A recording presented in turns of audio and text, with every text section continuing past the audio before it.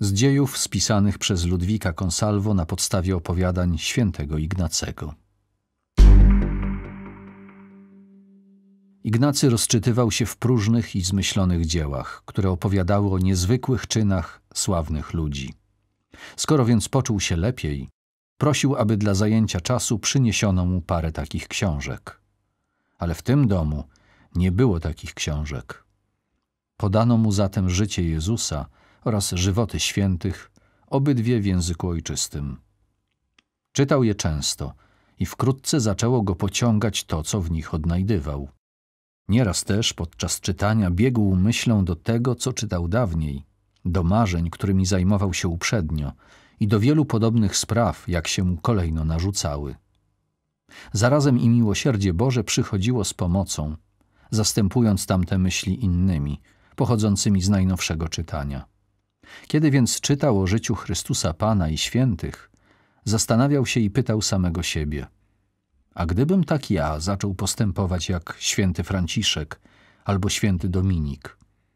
Wiele nad tym rozmyślał. Te myśli pozostawały w nim dość długo, a następnie wskutek zaistniałej jakiejś okoliczności zastępowały je próżne marzenia światowe. One także zatrzymywały się na dłuższy czas. Taka zmienność myśli trwała w nim dość długo. Pomiędzy owymi dwoma rodzajami myśli istniała jednak pewna różnica.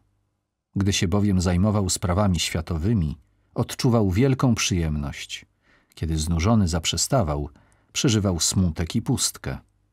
Kiedy natomiast rozmyślał o naśladowaniu wielkich dzieł pokuty dokonywanych przez świętych mężów, wtedy odczuwał przyjemność nie tylko rozmyślając, ale także po zaprzestaniu rozmyślania.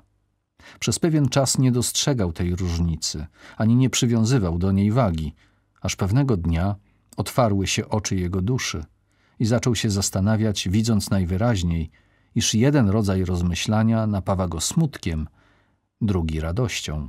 Taka była jego pierwsza medytacja o sprawach bożych. Później, kiedy się zajął ćwiczeniami duchownymi, zaczerpnął stąd pierwsze objaśnienia dla nauki o rozpoznawaniu duchów.